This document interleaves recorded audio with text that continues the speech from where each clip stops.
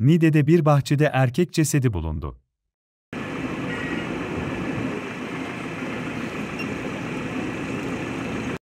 Niğde Merkez Fertek Mahallesi Taşkesen mevkiinde bir kişinin hareketsiz yattığını görenler durumu polis ve sağlık ekiplerine bildirdi.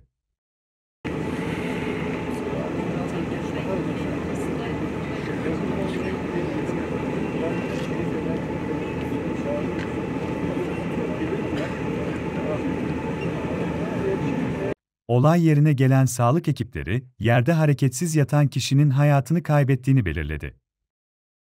Yapılan inceleme sonrasında cansız bedenin, Niğde Merkez Fertek Mahallesi'nde ikamet eden 70 yaşındaki Yaşar Kaplan olduğu öğrenildi.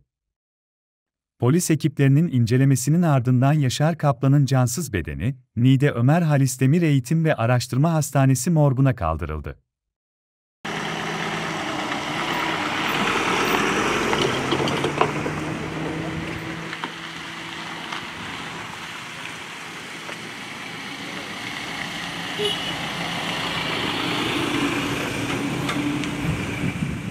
Hayır ben geldim oraya mı geliyorum? Buraya mı geliyorum? Arazideyim.